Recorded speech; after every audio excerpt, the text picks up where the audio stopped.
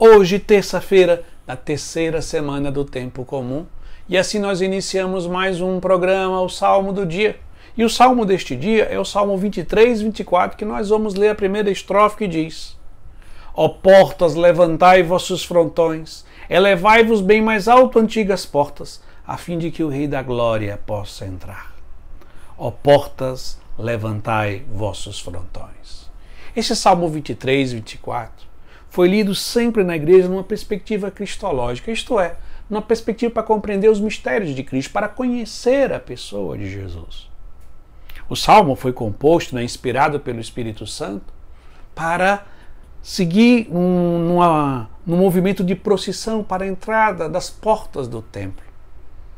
Mas agora, a igreja, a partir da vinda de nosso Senhor Jesus Cristo, vai ler para compreender. Jesus que entra na humanidade por meio da Virgem Maria, pelas portas fechadas do pecado da humanidade. E aí se diz: ó porta, levantai vossos frontões.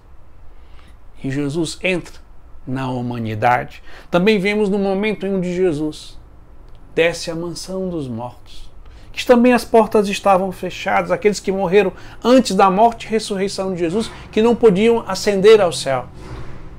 Nesse momento, Jesus, como se dissesse, as palavras do salmista, ó porta, levantai vossos frontões, elevai-vos bem mais alto, mais alto, antigas portas. E por fim, na própria ascensão de Jesus, quando ele retorna para a casa do Pai, o céu que estava com as portas fechadas para a humanidade, agora para a humanidade de nosso Senhor Jesus Cristo, as portas se abrem. Ao rezar este salmo hoje, também possamos abrir o nosso coração, as portas do nosso coração, para que Jesus possa entrar.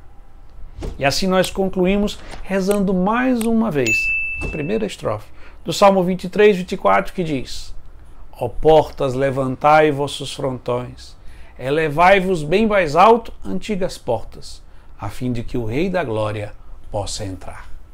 Amém.